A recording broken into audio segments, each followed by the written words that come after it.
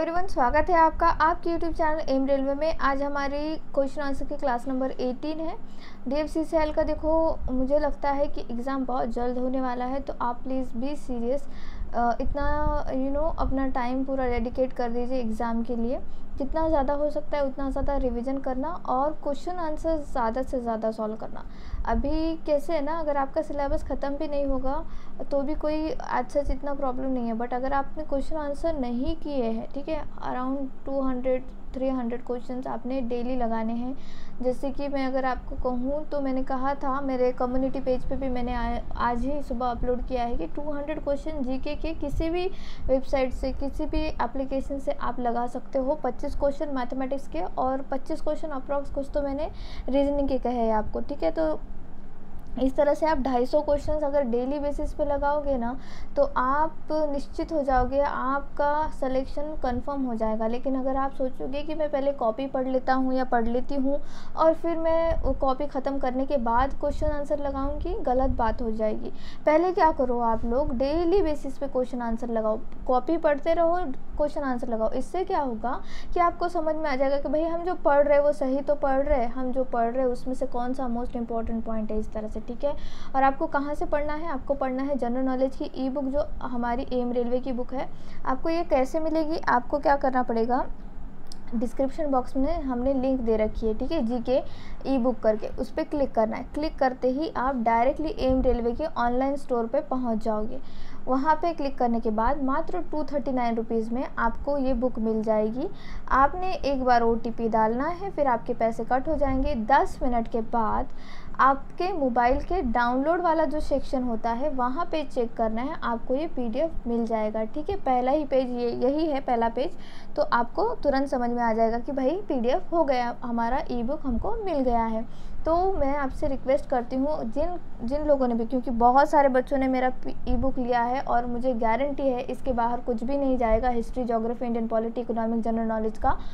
तो please at least तीन revision कर लो। अभी तो मैं देखो सात से आठ कहूँगी बट अभी फ़िलहाल टाइम नहीं, इसीलिए कह रही हूँ कि एटलीस्ट इसके तीन रिवीजन करो और कम से कम हज़ार क्वेश्चन अपनी ओर से सॉल्व करने की कोशिश करो, ठीक है? चलिए, बहुत हो गई बातें स्टार्ट करते हैं। क्वेश्चन नंबर वन क्या कहता है in which of the following years did United Nation come into existent निम्नलिखित में से किस वर्ष में संयुक्त राष्ट्र अस्तित्व में आया? तो देखो यूनाइटेड नेशन जो है वो ट्वेंटी ऑफ़ अक्टूबर 1945 को इस्टाब्लिश हुआ है। इसका हेडक्वार्टर कहाँ पे है? न्यूयॉर्क यूएसए ठीक है, ये आपको याद रखना है, इससे क्वेश्चन बनता है। यूनाइटेड नेशन की जितनी भी ऑर्गेनाइजेशन है छोटी मोटी ऑर्गेनाइजेशन उनसे क्वेश्चन बन ही जाता है। ट्वेंटी ऑफ़ अक्टूबर को हम क्या सेलिब्रेट करते हैं? हम सेलिब्रेट करते हैं यूनाइटेड नेशन डे तो इसका राइट आंसर क्या है? 1945 इज़ द राइट आंसर ठीक है? Note it down next question आज के क्वेश्चन जो है बहुत बढ़िया है। आ, मेरी टीम ने बहुत ही ज़्यादा रिसर्च किया और अच्छे क्वेश्चन कल भी जो हमने क्वेश्चन आंसर का क्लास लिया था उसमें भी बहुत बढ़िया क्वेश्चन थे और बहुत तो सारे बच्चों के ten out of ten marks आ रहे हैं। आने भी चाहिए। आज कितने मार्क्स आ रहे हैं आपके? प्लीज़ कमेंट सेक्शन में कमेंट करके बताना ओके नेक्स्ट क्वेश्चन क्या कहता है? Eduskunta is the name of the parliament ठीक है? ईडू सुक्ता किस देश की संसद का नाम है? तो ये देखो फिनलैंड का फिनलैंड की जो संसद है, उसका नाम है Eduskunta B, Finland. Next question the line that determines the boundary between India and Pakistan तो मैंने आपको ये मेरे ई बुक में जोग्राफी के आई थिंक थर्ड या फोर्थ पेज पे ही जोग्राफी स्टार्ट होते ही मैंने आपको पूरे लाइंस लिख के दिए हैं। कौन से कौन सी लाइन लिख के दिए? मैंने आपको ट्वेंटी फोर पैरल लाइन लिख के दिए एलेवन डिग्री वाली लाइन लिख के दिए ten degree eight degree nine degree वाली लिख के दिए। मैंने आपको फोर्टी फाइव डिग्री वाला जो लाइन है वो लिख कर दिया है। तो मैंने सारे आई थिंक मैंने अप्रॉक्स एटीन ऐसे लाइन्स लिख कर दिए हैं जिससे क्वेश्चन बनता है। ठीक है, समझ रहे हो? इसीलिए मैं आपको बार बार कह रही हूँ कि क्यों आपको ये ई बुक पढ़ना है तीन बार? ये अगर आप एक बार पढ़ोगे, ध्यान में रह जाएगा। दूसरी बार पढ़ोगे तो बहुत ही अच्छे से होगा। तीसरी बार पढ़ोगे तो आप एग्ज़ाम के लिए रेडी हो जाओगे। मैं अपने मुँह से अपनी तारीफ़ नहीं करना चाहती, बस मैं इतना चाहती हूँ कि जिन लोगों ने भी पैसे लगाए हैं, ठीक है, पैसे इन्वेस्ट किए हैं, उनको रिटर्न मिलने चाहिए। और रिटर्न कब मिलेगा? जब आप इसको तीन बार पढ़ोगे। तो हमारे बीच में, इंडिया और पाकिस्तान के बीच में जो लाइन है, वो है रेड क्लिफ लाइन, ठीक है? रेड क्लिफ लाइन है। अगर आपने हिस्ट्री अच्छे से पढ़ी होंगी तो आप जानते होंगे कि रेड क्लिफ आया था और उसको कुछ पता नहीं था जोग्राफ़ी का कि कैसा है, क्या है इंडिया का और पाकिस्तान का जोग्राफिकल एरिया वो आया, उसने मैपे सीधे सीधे ड्रॉ कर दिया और उसको लगा कि जैसे पूरा जो वहाँ का ज़मीन है, वो पूरा you know kind of plain है बट वो प्लेन नहीं था, वो टोटली जो है पहाड़ वगैरह है वहाँ पे तो ये रेड क्लिफ लाइन कभी कभी जो बहुत ही ज़्यादा हिस्टोरी हिस्टोरिकल या फिर हिस्ट्री जानने वाले जो हिस्टोरियंस है, वो कहते हैं कि रेड क्लिफ आधा नींद में था जब उसने ये लाइन खींची और उसके साथ वाले तो पूरे ही नींद में थे जो उसे कुछ बता भी नहीं पाए। तो इस तरह से चीज़ें, ठीक है? नेक्स्ट है मैकमोहन लाइन मैकमोहन लाइन हमारे और चाइना के बीच में एक बाउंड्री बताता है। सेकंड है 24 डिग्री पैरेलल लाइन ये जो है देखो 24 डिग्री पैरेलल लाइन इंडिया और पाकिस्तान के बीच में ही है बट ये समुद्र से होते हुए गुजरती है, सागर से होते हुए गुजरती है। हमारे मछुआरे कभी कभी 24 डिग्री का वो जो पैरेलल वाली लाइन है क्रॉस करके पाकिस्तान पहुँच जाते हैं और पाकिस्तान के मछुआरे इधर आ जाते हैं, क्योंकि पानी में बाउंड्री का इतना समझ में नहीं आता। तो ये भी क्वेश्चन बनेगा क्योंकि जनवरी जनवरी लास्ट लास्ट दिसंबर एक्चुअली दिसंबर 2020 में ये इंसिडेंट बहुत ज़्यादा हो चुके थे कि हमारे मछुआरे उधर चले गए और उनके मछुआरे हमारी तरफ़ आ गए, ठीक है? Nextly Durand line Durand line देखो, हमारे एक्चुअली पाकिस्तान और अफ़गानिस्तान के बीच में एक बाउंड्री बनाता है, ठीक है? तो ये सारे लाइन्स आपको याद करने हैं प्लीज़ याद कर लीजिए। यूएसए कनाडा के बीच में कौन सी लाइन है, वो याद करना है। साउथ कोरिया नॉर्थ कोरिया के बीच में कौन सी लाइन है, वो याद करना है। तो मेरी आपसे रिक्वेस्ट है कि सारा कुछ पढ़ के जाना प्लीज़ क्योंकि देखो it's high time and opportunity बहुत बढ़िया है। आज से जितने ज़्यादा फॉर्म आए नहीं हैं तो यू नो लाइक कि आप कर सकते हो, कर सकते हो, ठीक है? जितना ज़्यादा हो सकता है, उतना ज़्यादा पढ़ना। नेक्स्ट क्वेश्चन है which of the following represents the number of जजेस in international court of justice जैसे मैंने कहा कि यूनाइटेड नेशन से रिलेटेड जितने भी छोटी मोटी ऑर्गेनाइजेशंस है उसके उसके बारे में क्वेश्चन बनता ही बनता है। तो इंटरनेशनल कोर्ट ऑफ़ जस्टिस का जो हेडक्वार्टर uh, है वो द हेग नीदरलैंड में है। और इसमें पंद्रह जज होते हैं। कितने जज होते हैं बच्चों? पंद्रह जज होते हैं।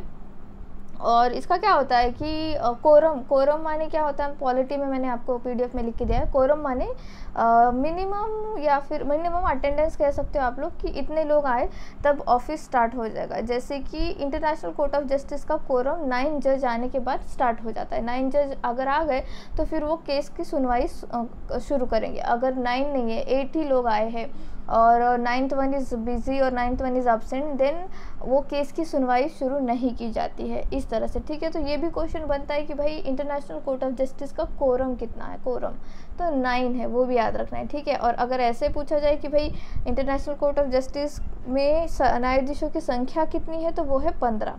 कितनी है? पंद्रह है, याद रखना है। नेक्स्ट क्वेश्चन है which of the following years you would associated with the foundation of Indian National Congress INC देखो, कभी भी कोई भी पेपर जिसमें हिस्ट्री आती हो, ठीक है हिस्ट्री आती हो, उसमें आईएनसी से क्वेश्चन अगर नहीं बना तो समझ लेना कि सामने वाला आपको फेल करना चाहता है। क्यों? क्योंकि आईएनसी एक ऐसा टॉपिक है हिस्ट्री हिस्ट्री के लिए, हमारे लिए एक्चुअली प्राउड का मूवमेंट है कि आईएनसी बना और फिर मूवमेंट वगैरह स्टार्ट हुए। तो अगर एग्ज़ामिनर को पेपर गंदा सेट करना है तो वो आईएनसी के बारे में नहीं पूछेगा। ये एक सिंपल सा टॉपिक है। आप अगर एक बार पढ़ लोगे तो इंटरेस्ट जाग जाएगा और हो जाएगा।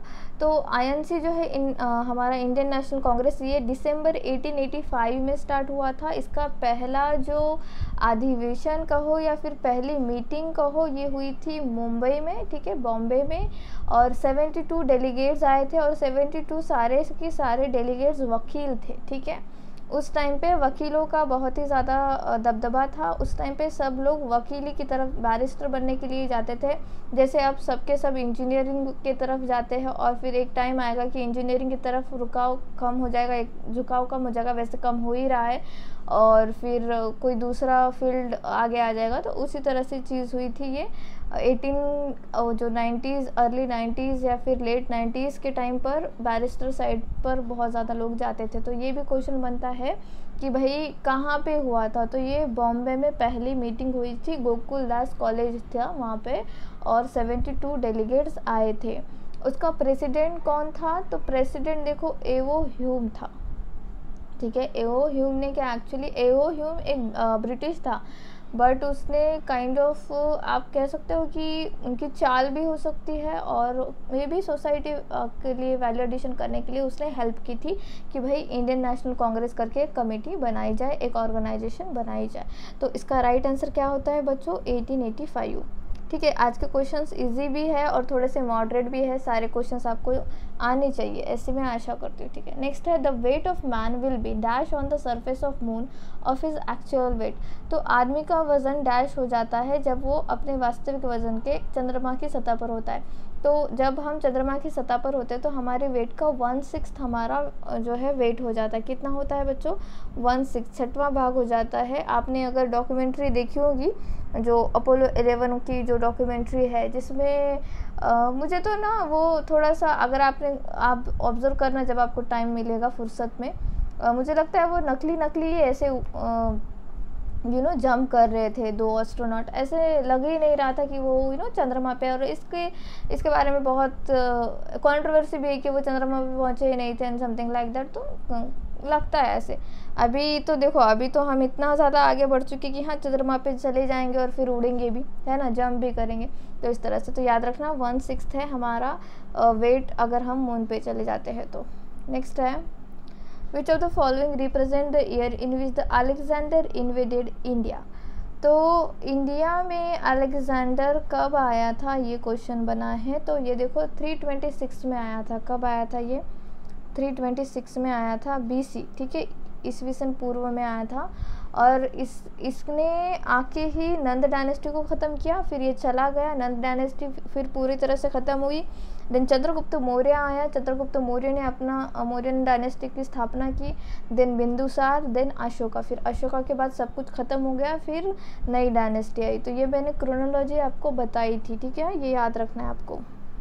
नेक्स्ट है खैबर पास इज़ इन तो जो खैबर खैबर का दर्रा है, वो कहाँ पे है? तो ये अफ़गानिस्तान में है, ठीक है? ये मोस्ट इंपॉर्टेंट है तो ये आपको याद रखना है, हाल फ़िलहाल न्यूज़ में था। तो खैबर जो पास है, ये कहाँ पर है बच्चों? अफ़गानिस्तान में है। एक्चुअली अभी फ़िलहाल अफ़गानिस्तान में ना अफरा तफरी चल रही है।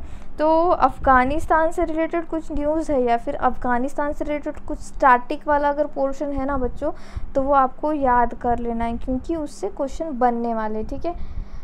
नेक्स्ट है साउदर्न रेलवे हेडक्वार्टर इज़ तो इसमें कन्फ्यूज़न हो सकता है बहुत सारे बच्चों को, अगर आपने हेडक्वार्टर वाला जो मैंने आपको कहा था वो याद नहीं किया होगा तो।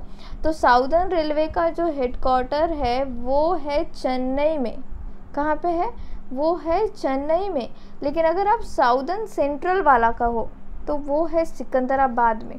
ठीक है, और साउदर्न कोस्ट कोस्ट वाला कहो तो वो कहाँ पे है? विशाखापट्टनम में। तो ये आपको याद रखना है, जो साउदर्न रेलवे है, उसका हेडक्वार्टर है चेन्नई, जिसमें पाँच डिवीज़न आते हैं। कौन कौन से?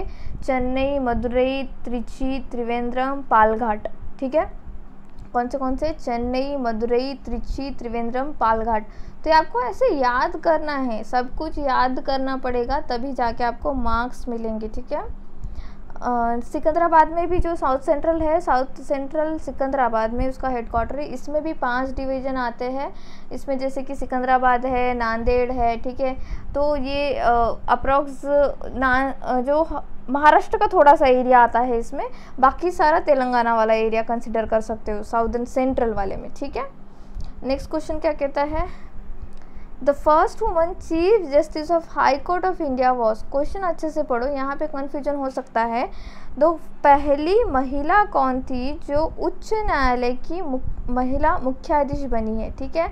तो वो थी लीला सेठ। आप गलती से फातिमा बीवी ना क्लिक कर देना भाई। देखो, यहाँ पे हाई कोर्ट के बारे में बात की गई, सुप्रीम कोर्ट के बारे में बात की गई है क्या? नहीं की गई है। तो यहाँ पे राइट आंसर क्या बनता है बच्चों? Leila Seth is the right one she is the first woman who is the chief justice of high court of India okay तो आशा करती हूँ कि आप लोगों को सारे क्वेश्चंस बने होंगे। आपका स्कोर प्लीज़ कमेंट सेक्शन में कमेंट करके बताना। और जितना ज़्यादा हो सकता है, उतना ज़्यादा खुद को सेफ़ रखो हेल्दी रहो, अच्छे से नींद लो, ज़्यादा से ज़्यादा रिविजन करो।